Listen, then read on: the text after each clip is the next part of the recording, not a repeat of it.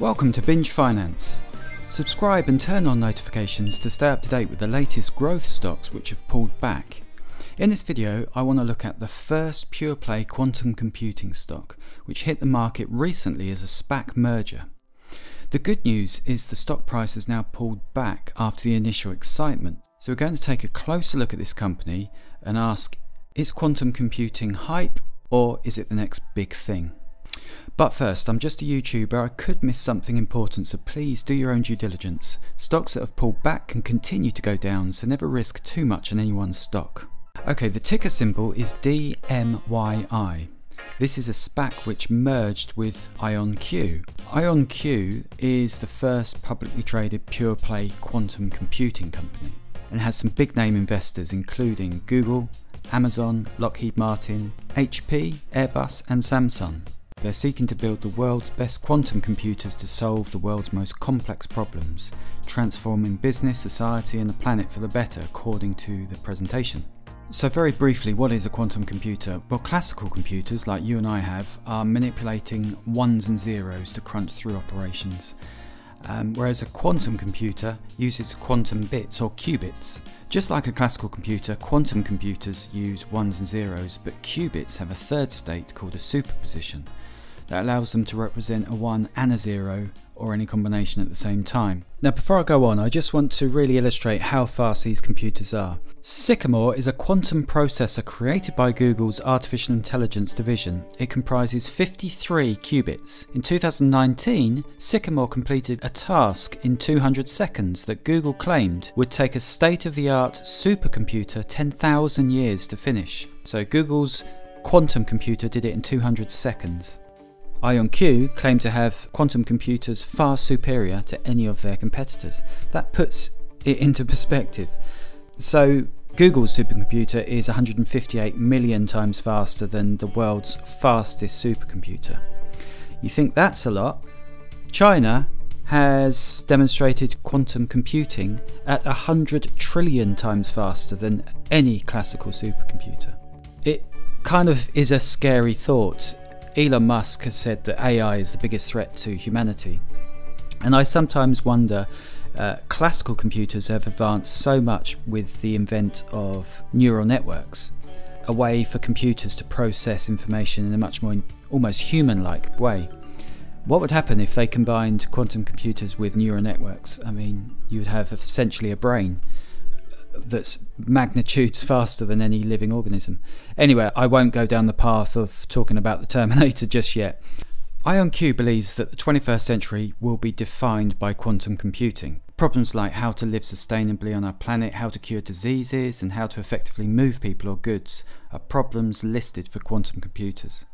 Um, what I love about this company is they're putting their computer technology in the cloud for other people to use. Uh, they are available on Amazon Web Services and Microsoft Azure.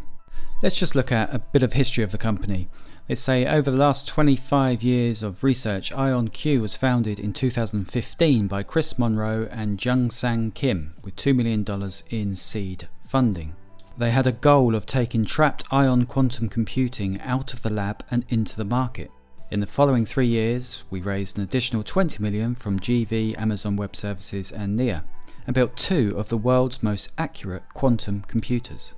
In 2019, we raised another 55 million and announced partnerships with Microsoft and Amazon Web Services to make our quantum computers available via the cloud.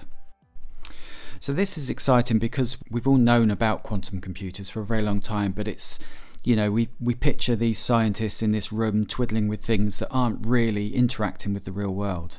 Now, for the first time, we've got a company that is interacting with the real world and it's publicly tradable and they say is scalable. We'll come back to this because this is the big question if they can scale. As for the financials, the company is forecasting revenue of 5 million in fiscal 2021 and 15 million in 2022.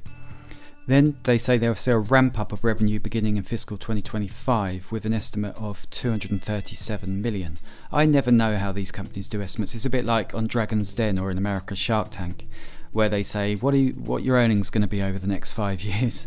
Um, how do they know? But anyway, they're they're projecting unbelievable growth.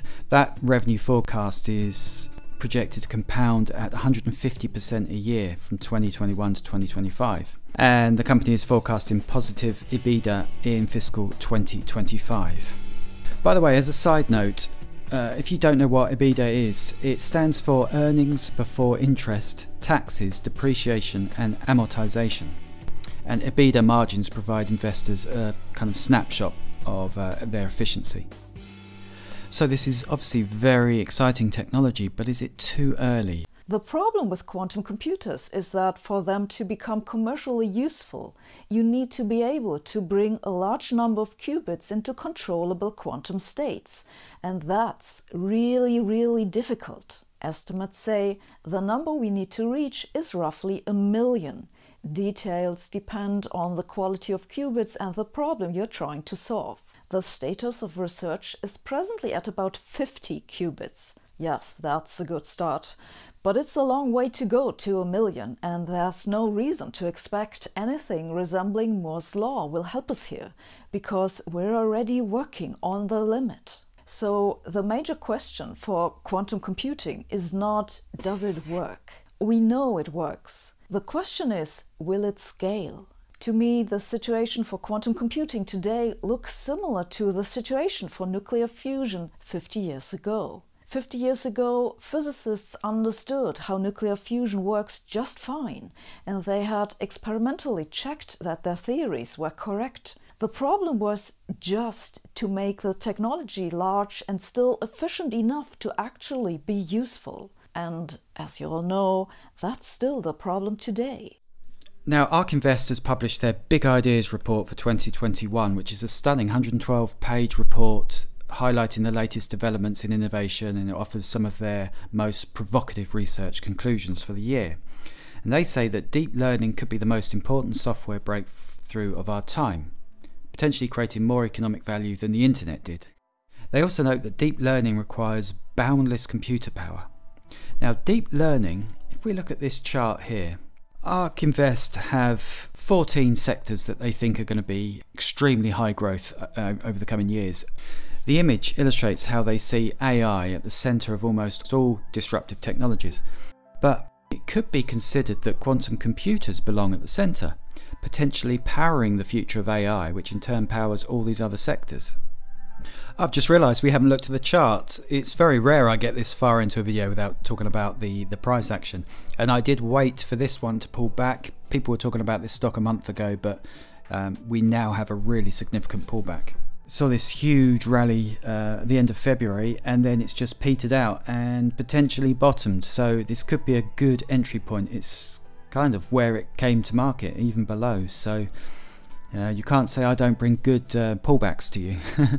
but the question is, is this too early? You know, this technology is bound to become profound in our society, but when? The problem with revolutions of any kind, especially technological, they tend to take longer to mature than you might first think. I'll leave this video with a pretty balanced quote from the Motley Fool. They say, For now, I'm happy with my exposure to quantum to the quantum realm via my investments in Alphabet and IBM. But IonQ's progress is worth monitoring if quantum computing can start gaining traction in the coming years.